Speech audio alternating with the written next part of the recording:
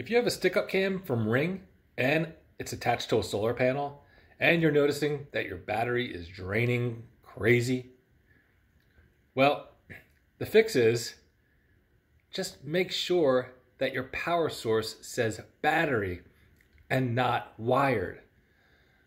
If you have it wired, which I had for several days, it will just drain and drain and drain the battery.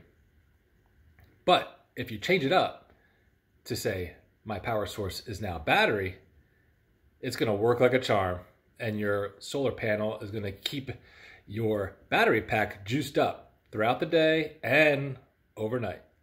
So that's the tip. I couldn't find this information very easily. I know it sounds like uh duh, but in my case, I found out the hard way. But uh, I found out the problem and I want to let you all know too. All right, hope this all helps.